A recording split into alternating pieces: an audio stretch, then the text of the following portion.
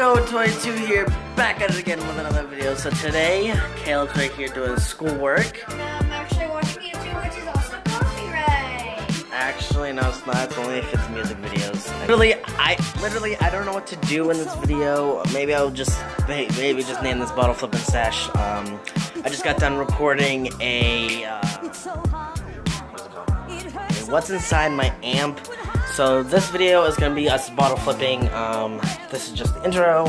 So yes, it's so beautiful outside. See, as you can see right here, it's so beautiful. It's so beautiful outside today. I haven't li- literally made it like a long vlog in like a long time. The last vlog that I made was 14 minutes, which was whenever I we went out. Then we saw a killer clown. So yeah.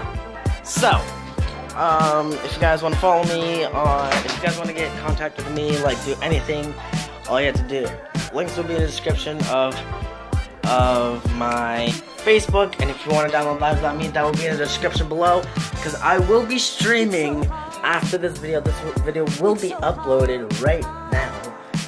Whenever you see this video, then you'll know that it's uploaded, and I'm not gonna upload what's inside amp, uh, what's inside my amp until tomorrow, since it's the 17th tomorrow. So, yeah. Okay, so. I was gonna do something, but it won't work, but yeah.